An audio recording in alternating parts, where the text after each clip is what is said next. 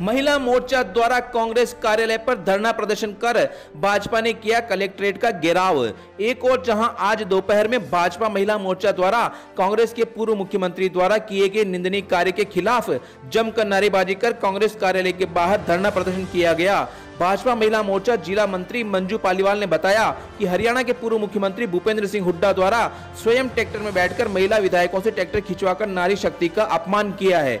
इस क्रूरता पूर्व कार्य के विरोध में आज धरना प्रदर्शन किया गया। इस दौरान सोनिया गांधी के खिलाफ जमकर नारेबाजी की। इस अवसर आरोप पुलिस प्रशासन भी मुस्तैद नज़र आया। वहीं दूसरी ओर, भाजपा के नेतृत्व में ज़िले में बिगड़ती हुई कानून व्यवस्था व राज्य सरकार की जन विरोधी नीतियों के संदर्भ में महामहिम राज्यपाल के नाम अतिरिक्त जिला कलेक्टर को ज्ञापन सौंपा।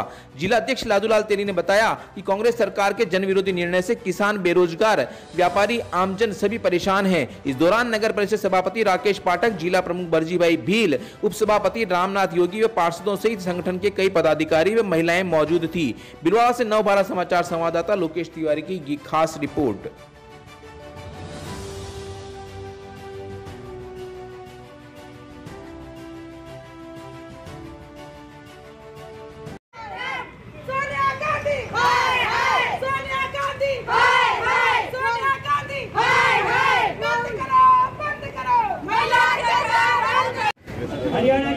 पूर्व मुख्यमंत्री भूपेंद्र सिंह हुड्डा ने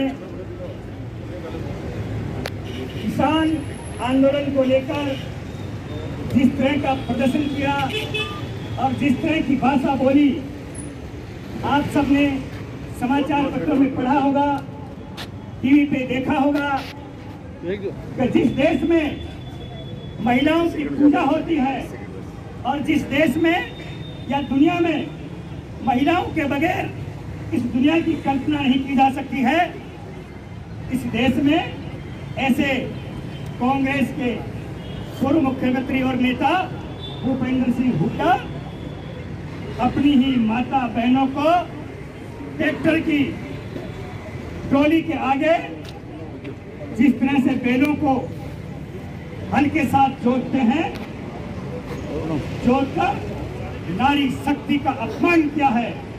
और इस नारी शक्ति का अपमान भारतीय जनता पार्टी कभी बर्दाश्त न तो किया है और न करेगी और करने वालों को मुँह तोड़ जवाब देगी। पार्टी के प्रदेश अध्यक्ष सम्मानीय सतीश जी पूनिया के नेतृत्व में, उनके निर्देशन में, संपूर्ण राजस्थान में आज किया जा रहा है। यहाँ धरना प्रदर्शन हरियाणा के जो पूर्व मुख्यमंत्री हैं, भूपेंद्र सिंह हुडा उनके जो अमानवीयपूर्ण कृत्य को लेकर हमने यहाँ पर धरना किया है।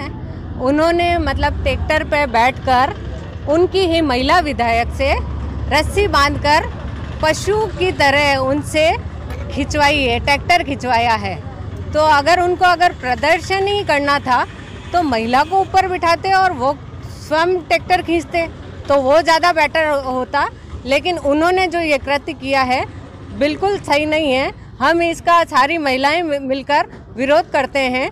जहाँ महिला दिवस मनाया जाता है, आठ तारीख को अभी महिला दिवस निकला है और सबने महिलाओं का सम्मान किया है और पुरातन समय से ही जो चला आ रहा है हमारे देश में कि लक्ष्मी, काली और महा सरस्वती, जिनकी हम पूजा करते हैं महिला के रूप में तो क्या महिलाओं का इस तरह अपमान आप देख सकते हैं, सब लोग हम नहीं देख सकते, इसलिए हम इनका विरोध करने के लिए यहाँ पर खड़े हुए हैं। पार्टी जिला भीलवाड़ा के नेतृत्व में और भारतीय जनता पार्टी महिला मोर्चा के नेतृत्व में राजस्थान की बिगड़ती हुई परिस्थितियों में, जहाँ पे पहले भी जैसा गहलोत का हमेशा रहा है, पहले भी जहाँ महिपाल मदेरना और मंत्री के घर पर महिलाएँ नहीं जा सकती थी, आज ये स्थिति हो गई है कि महिलाएँ थाने में अपने हितों की रक्षा के लिए और अपनी आबरू को बचाने के लिए नहीं जा सकती है। ऐसी स्थितियाँ पैदा हो गई है। और भी कई मुद्दे हैं, महँगाई और बहुत सारे। उन सबको लेकर महिला मोर्चा ने एक बृहद रूप में कार्यक्रम किया है। इस कार्यक्रम के तहत हमने इन सब समस्याओं की और राज्यपाल के नाम ज्ञापन देके अपने जिला प्रशासन को अवगत कराया है और हमारी भावनाएँ राज्यपाल तक पहुँचाई।